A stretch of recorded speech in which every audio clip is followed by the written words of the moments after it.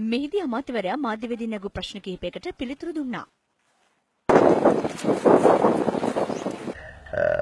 විගණකාධිපති වාර්තාව පාදක කරගෙන අමාත්‍යංශ ලේකම්තුමා මට වාර්තාවක් දුන්නා ගල්ලංගුට සමාගම විසිරුවා හැරලා එහි ඉන්න කොටස්කාරයෝ සමග සාකච්ඡා කළා. කොටස්කාරයෝ කියලා කියන්නේ විදුලි මණ්ඩලයට 60යි වරාය අධිකාරියට 20යි Eh, මහ භාණ්ඩාගාරයට 20යි. මීට වඩා eh, කාර්යක්ෂම ලොකු අපසාරයක් සහිත ස්වාබැලීම් සහිත eh, කටයුතු කළ හැකි අධ්‍යක්ෂ මණ්ඩලයක් පත් කිරීමට කටයුතු කරමු කියලා. ඒ අනුව අපි වැඩ බලන සභාපතිවරයෙක් පත් කරා අපේ අමාත්‍යාංශයේ අතිරේක ලේකම් මෙරිල් ගුණතිලක මහත්මයා. ඔහු යටතේ දැන් මේක ක්‍රියාත්මක වෙනවා.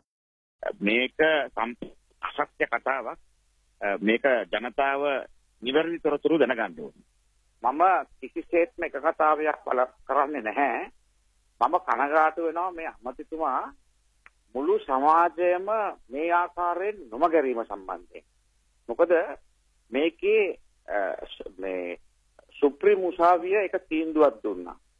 සුප්‍රීම උසාවියේ දීපු තීන්දුවේ අමාත්‍ය මණ්ඩලය විසින් පත් කරපු පත් කරන ලද ප්‍රසම්පදා මණ්ඩලය සම්පූර්ණයෙන් බලය අභිමතය සියල්ලම අභිබවා කටයුතු තියෙනවා කැබිනට් එක නොමගහැරලා තියෙනවා කියන එක සුප්‍රීම උසාවිය තීන්දුව කරලා තියෙනවා.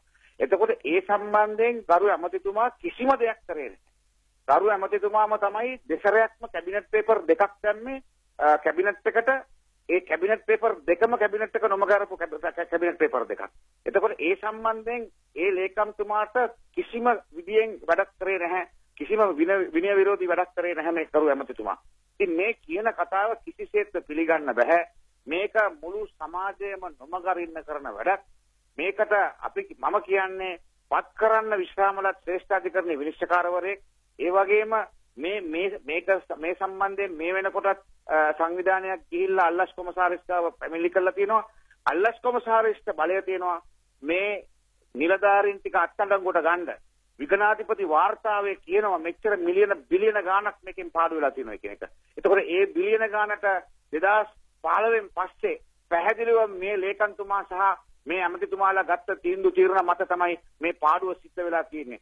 මේ පාඩුව අපි එපා කියද්දි මේක කරේ මොකටද කියන එක මන් දන්නේ නැහැ. ඒක මේ රටේ ජනතාව තීරණය කරන්න ඕනේ කියන